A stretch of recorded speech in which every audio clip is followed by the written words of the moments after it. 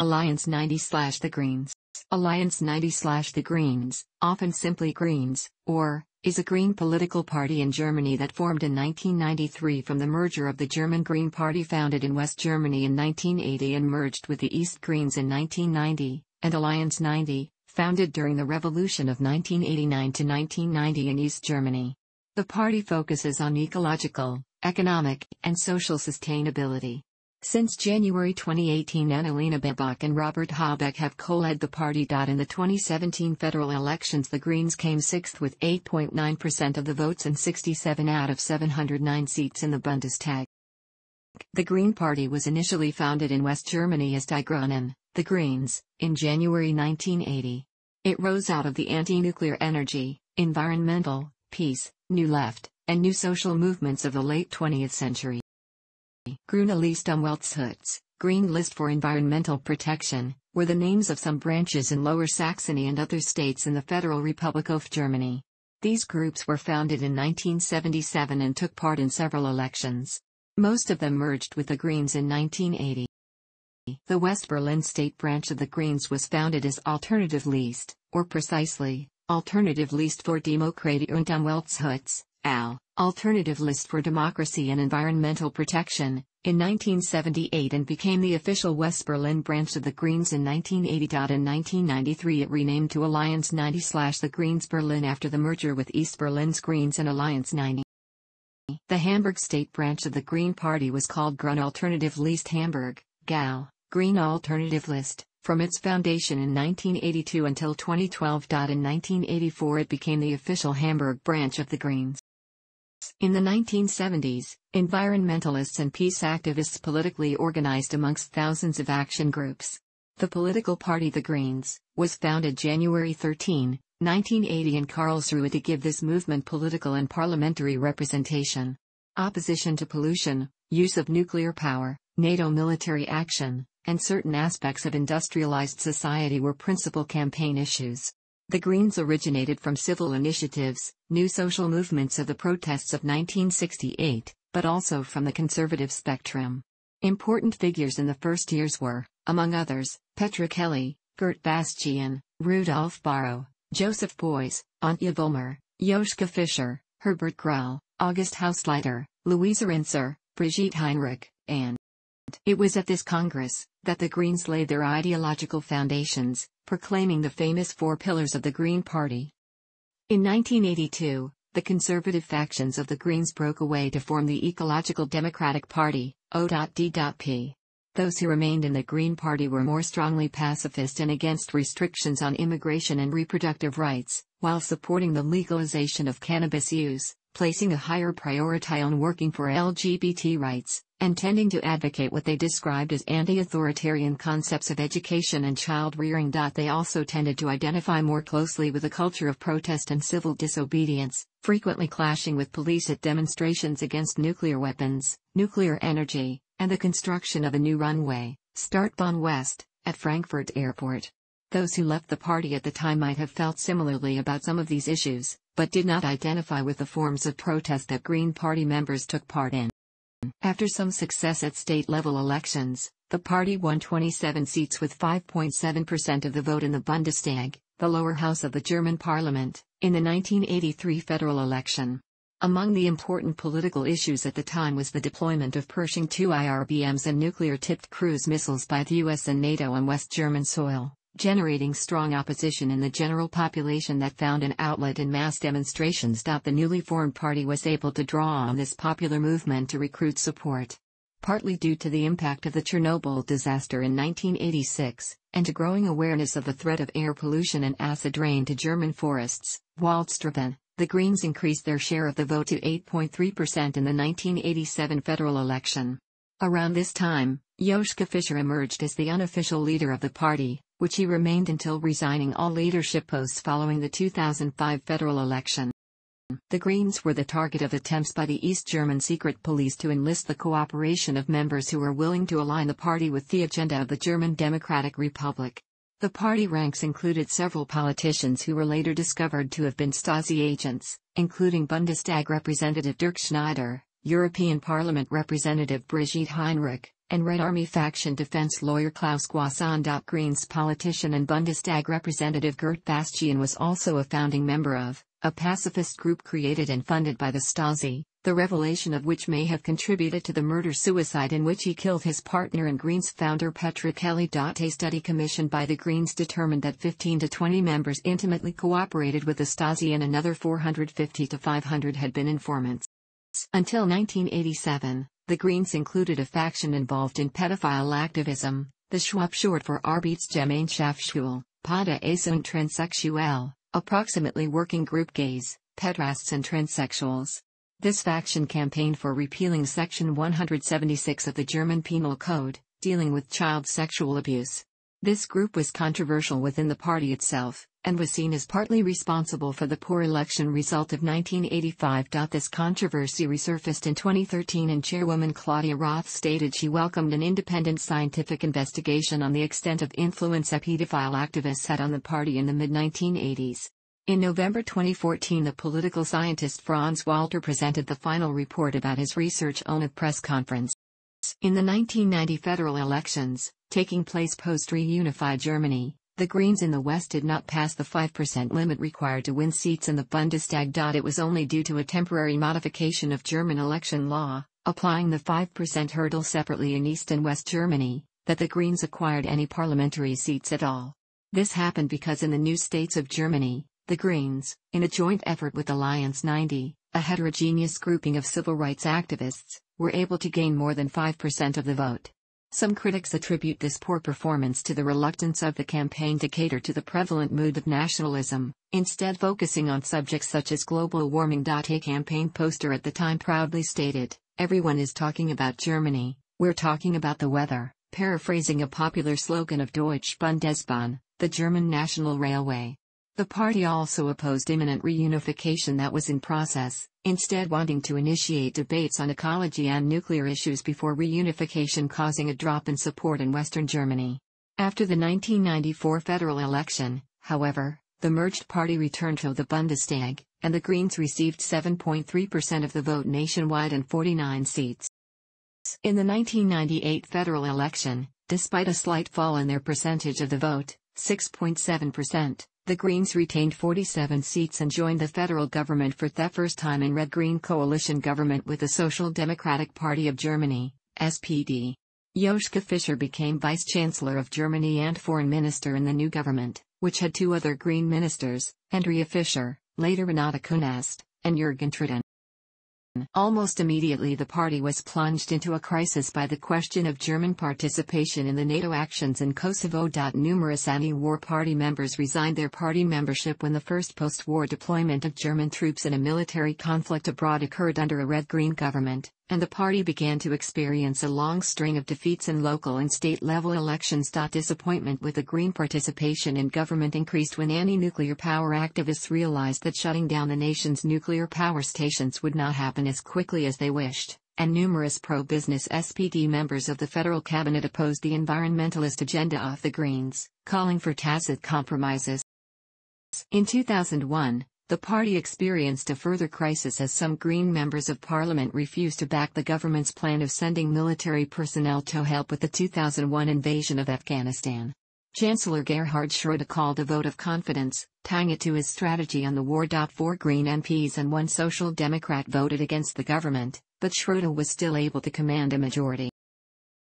On the other hand, the Greens achieved a major success as a governing party through the 2000 decision to phase out the use of nuclear energy. Minister of Environment, Nature Conservation and Nuclear Safety Jürgen Trittin reached an agreement with energy companies on the gradual phasing out of the country's 19 nuclear power plants and a cessation of civil usage of nuclear power by 2020. This was authorized through the Nuclear Exit Law. Based on an estimate of 32 years as the normal period of operation for a nuclear power plant, the agreement defines precisely how much energy a power plant is allowed to produce before being shut down. This law has since been overturned.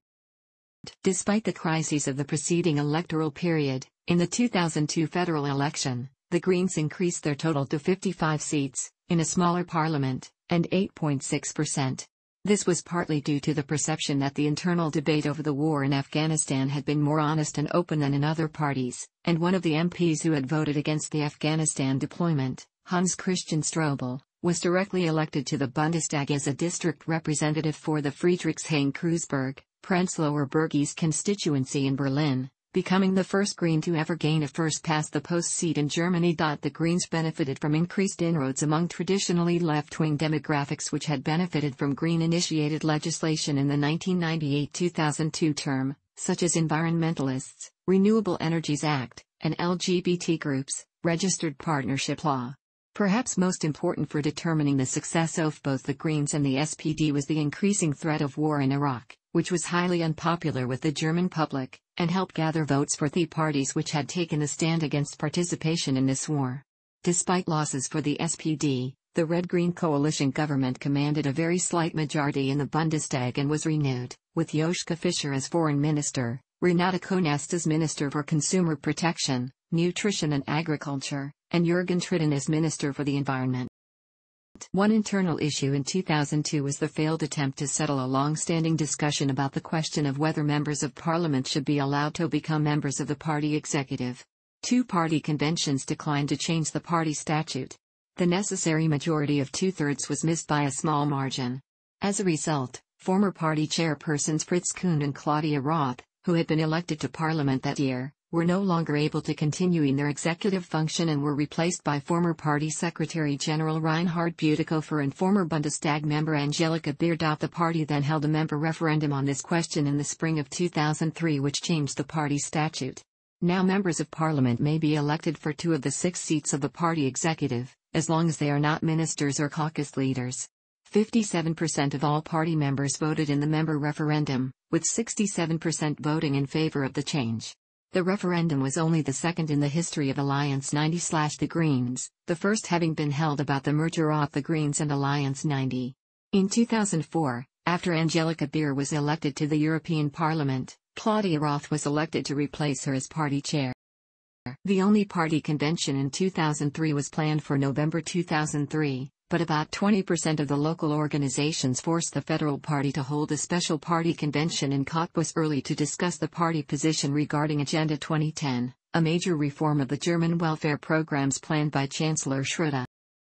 The November 2003 party convention was held in Dresden and decided the election platform for the 2004 European Parliament elections. The German Green list for these elections was headed by Rebecca Harms, then leader of the Green Party in Lower Saxony, and Daniel Cohn-Bendit, previously member of the European Parliament for the Greens of France. The November 2003 convention is also noteworthy because it was the first convention of a German political party ever to use an electronic voting system. The Greens gained a record 13 of Germany's 99 seats in these elections, mainly due to the perceived competence of Green ministers in the federal government and the unpopularity of the Social Democratic Party. In early 2005, the Greens were the target of the German Visa Affair 2005, instigated in the media by the Christian Democratic Union, CDU. At the end of April 2005, they celebrated the decommissioning of the Obrigheim nuclear power station. They also continue to support a bill for an anti discrimination law, in the Bundestag. In May 2005, the only remaining state level red green coalition government lost the vote in the North Rhine Westphalia state election, leaving only the federal government with participation of the Greens, apart from local governments. In the early 2005 federal election, the party incurred very small losses and achieved 8.1% of the vote in 51 seats. However, due to larger losses of the SPD, the previous coalition no longer had a majority in the Bundestag. For almost two years after the federal election in 2005, the Greens were not part of any government at the state or federal level. In June 2007, the Greens in Bremen entered into a coalition with the Social Democratic Party, SPD, following the 2007 Bremen state election. In April 2008, following the 2008 Hamburg state election, the Green Alternative List, GAL, in Hamburg entered into a coalition with the Christian Democratic Union, CDU, the first state level coalition in Germany. Although the GAL had to agree to the deepening of the Elbe River, the construction of a new coal-fired power station and two road projects they had opposed, they also received some significant concessions from the CDU. These included reforming state schools by increasing the number of primary school educational stages, the restoration of trams as public transportation in the city-state, and more pedestrian-friendly real estate development. On November 29, 2010, the coalition collapsed, resulting in an election that was won by SPD. Following the Saarland state election of August 2009, the Greens held the balance of power after a close election where no two-party coalitions could create a stable majority government. After negotiations, the Saarland Greens rejected the option of a left-wing red-red-green coalition with the SPD and the Left Die Link, in order to form a center-right state government with the CDU and Free Democratic Party, FDP, a historical first time that a Jamaica coalition is formed in German politics. In June 2010, in the first state election following the victory of the CDU-CSU and FDP in the 2009 federal election, the Black-Yellow CDU-FDP coalition in North Rhine-Westphalia under Jürgen Rüttgers lost its majority. The Greens and the SPD came one seat short of a governing majority, but after multiple negotiations about coalitions of SPD and Greens with either the FDP or the left, the SPD and Greens decided to form a minority government, which was possible because under the Constitution of North Rhine-Westphalia a plurality of seats is sufficient to elect a minister-president. So a red-green government in a state where I was defeated under Peer Steinbrück in 2005 came into office again on June 14, 2010 with the election of Hannelore Kraft as minister-president, Cabinet Crafty.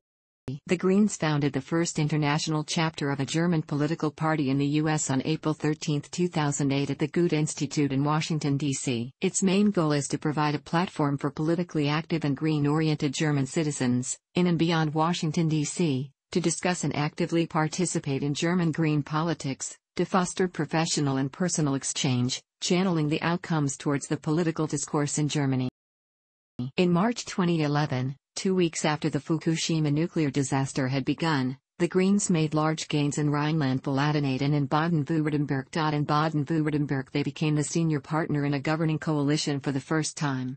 Winfried Kretschmann is now the first Green to serve as minister-president of a German state, Cabinet Kretschmann 1 and 2. Polling data from August 2011 indicated that 1 in 5 Germans supported the Greens. From October 4, 2011 to September 4, 2016, the party was represented in all state parliaments. Like the Social Democrats, the Greens backed Chancellor Angela Merkel on most bailout votes in the German parliament during her second term, saying their pro-European stances overrode party politics. Shortly before the elections, the party plummeted to a four-year low in the polls, undermining efforts by Peer Steinbrück's Social Democrats to unseat Merkel. Following the election, the Greens saw a major surge in support, consistently polling between 17 and 20 percent nationally in October 2018. They achieved record results in the Bavarian and Hessian state elections, becoming the second largest party in the respective landtags of both states. Below are charts of the results that Alliance 90-The Greens have secured in each election to the federal Bundestag. Timelines showing the number of seats and percentage of party list votes won are on the right. From the inception of the party, they have been concerned with the immediate halt of construction or operation of all nuclear power stations. As an alternative, they promote a shift to alternative energy and a comprehensive program of energy conservation. In 1986, large parts of Germany were covered with radioactive contamination from the Chernobyl disaster and Germans went to great lengths to deal with the contamination. Germany's anti-nuclear stance was strengthened. From the mid-1990s onwards, anti-nuclear protests were primarily directed against transports of radioactive waste and castor containers. After the Chernobyl disaster, the Greens became more radicalized and resisted compromise on the nuclear issue. During the 1990s, a reorientation towards a moderate program occurred, with concern about global warming and ozone depletion taking a more prominent role. During the federal red-green government, 1998 to 2005, many people became disappointed with what they saw as excessive compromise on key Greens policies. Energy policy is still the most important cross-cutting issue in climate and economic policies. Implementation of green policy would see electricity generation from 100% renewable sources as early as 2040. The development of renewable energy and combined heat and power is also a great opportunity for technical and economic innovation. Solar industry and environmental technologies are already a significant part of key industries providing jobs which need to be developed and promoted vigorously. In addition, a priority of green energy policy is increasing the thermal insulation and energy efficiency of homes, the phase out of all nuclear energy generation with possible high efficiency gas fired power plants operational during the transition phase.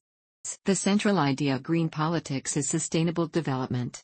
The concept of environmental protection is the cornerstone of Alliance 90-The Greens policy. In particular, the economic, energy and transport policy claims are in close interaction with environmental considerations. The Greens acknowledge the natural environment as a high priority and animal protection should be enshrined as a national objective in constitutional law. An effective environmental policy would be based on a common environmental code, with the urgent integration of a climate change bill. During the Red Green Coalition, 1998 to 2005, a policy of agricultural change was launched labeled as a paradigm shift in agricultural policy towards a more ecological friendly agriculture, which needs to continue. Climate change is at the center of all policy considerations. This includes environmental policy and safety and social aspects. The plans of the Alliance 90-The Greens provide a climate change bill laying down binding reductions to greenhouse gas emissions in Germany by 2020 restricting emissions to minus 40% compared to 1990. A similarly high priority is given to transport policy. The switch from a traveling allowance to a mobility allowance, which is paid regardless of income to all employees, replacing company car privileges. The truck toll will act as a climate protection instrument internalizing the external costs of transport. Railway should be promoted in order to achieve the desired environmental objectives and the comprehensive care of customers. The railway infrastructure is to remain permanently in the public sector, allowing a reduction in expenditure on road construction infrastructure. The Greens want to control privileges on kerosene and for international flights, introduce an air ticket levy. Restrict speeds nationwide on the highways to 120 km per hour and country roads to 80 km per hour. The Greens want to create a market incentive and research program of 500 million euros annually to ensure that by 2020 there are at least 2 million electric cars on German roads. For many years, the Green Party has advocated against the Ehegatten splitting policy, under which the incomes of married couples are split for taxation purposes. Furthermore, the party advocates for a massive increase in spending for places in preschools on the federal level. Investment in education should also be increased in the higher levels, 1 billion euros more for vocational schools and 200 million euros more for BAföG, Bundesausbildungsförderungsgesetz in German, approximately translated to the federal law for the advancement of education, for adults. In its platform in 2013, the Green Party advocated for a minimum wage of 8.50 euro per hour which was implemented on January 1, 2015. It continues to press for higher minimum wages. The Greens want to continue having the age of 67 be the start of retirement, though they want to include some provisions, for example, considering partial retirement.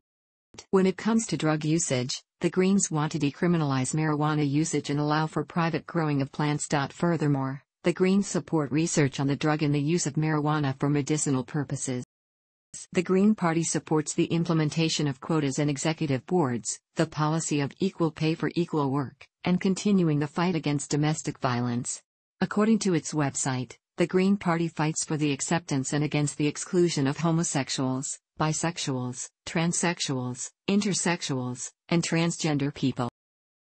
In order to recognize the political persecution that LGBT people face abroad, the Green Party wants to extend asylum to LGBT people abroad. The policy change was sponsored primarily by Volker Beck, one of the party's most prominent gay members.